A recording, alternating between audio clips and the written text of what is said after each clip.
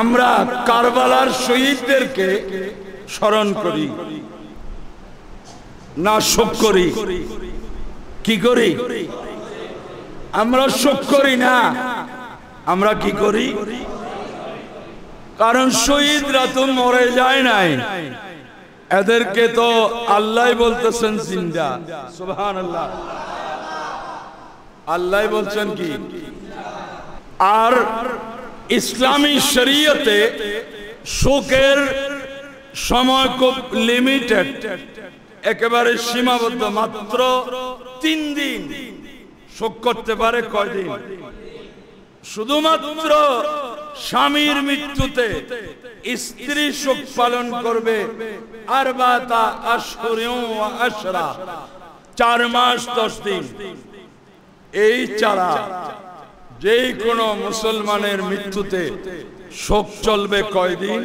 আর কারবালার ঘটনা ঘটেছে একষট্টি জিরি দশই মহরম আর আজকে চলতেছে চোদ্দশো বিয়াল্লিশ হিজড়ি প্রায় সাড়ে তেরোশো বছরের কাছাকাছি সময় পর এসে আওলাদ রসুলের জন্য শোক করার কোনো অনুমতি ইসলামী শরীয়তে নাই নাই। সুতরাং সুন্নিরা শোক করে না। সুন্নিরা স্মরণ করে, যারা শোক করে, এরা সুন্নি নয়, এরা শিয়া। এরা কি? শিয়া। শিয়াদের আকিদা জঘন্য খারাপ। শিয়াদের আকিদা অত্যন্ত ভ্রান্ত। শিয়াদের আকিদা হলো আবু বকর সিদ্দিক এক নম্বরের জাহান্নামী।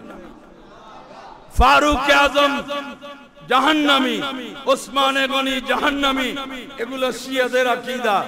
আর আহলে সুন্নতের হলো আম্বিয়া পর, নবীদের পরে সর্বশ্রেষ্ঠ স্থান, সিদ্দিক আকবরের। এরপর ফারুক আজম, এরপর ওসমানে গনি, এরপর মৌলা আলী শের খুদা এই বিশ্বাস যে মুসলমানের নাই, সে গুমরা, সে পথভ্রষ্ট। কারণ আকিদার কিতাব সরে আকায়দের নসবিতেও আছে আফদালুন নাস বাদাল আম্বিয়া, আবু বকরিন, সুম্মা উমারু, সুম্মা উসমানু, সুম্মা আলিয়ুন রাদিয়াল্লাহু আনহুম। নবীদের পরে সর্বশ্রেষ্ঠ হচ্ছেন সিদ্দিক আকবর, ফারুক আজম, ওসমানে গনি, মাওলা আলী শের খুদা রাদিয়াল্লাহু আনহুম। আর শিয়াদের আকীদা হলো আমার রসুলের পর সর্বশ্রেষ্ঠ হচ্ছে হযরত আলী। এটা সুন্নিদের আকিদা নয়। আমরা চারজনকেই ধারাবাহিকভাবে সিরিয়ালি সম্মান করি। এটাই হচ্ছে আলে সুন্নতের আকিদা। প্যারা হাজরি আওলাদের রসুল ময়দানে কারবালায় শহীদ হয়েছেন। সুন্নি মুসলমানরা সেই থেকে আজ পর্যন্ত স্মরণ করেছে প্রত্যেক সময়ে। বয়স্করা বলতে পারেন যে, হুজুর, আমরা তো ছোটবেলায় মহরম মাসে এত মাহবিলতে দেখি নাই। ইদানিং এগুলা বেশি হচ্ছে। ইদানিং বেশি হচ্ছে। এটা সহজ হওয়ার কারণে কিন্তু একটা সময় ছিল, এভাবে মাহবিল ছিল না।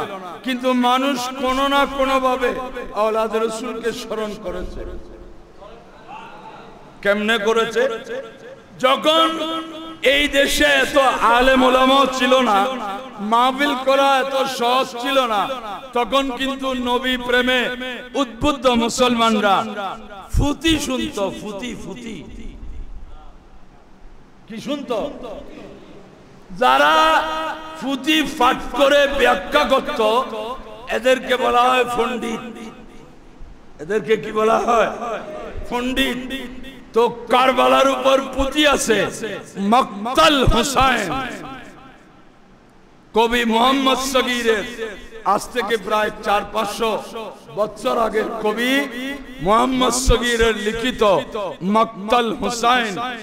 এই পুঁতিগুলো আজ থেকে তিরিশ, চল্লিশ বছর আগেও লাল দিঘির ফুটপাতে বিক্রি হতো ফদ্দাফুতির ফুতি, বেলোয়া সুন্দরীর ফুতি মালগামানুর ফুতি, তারপরে মকতুল হুসাইন, এইসব ফুতি, এই ফুতি হচ্ছে বাংলা সাহিত্যের মূল ফুতিকে গবেষণা করে বাংলা সাহিত্যের ভিত্তি রাখা হয়েছে।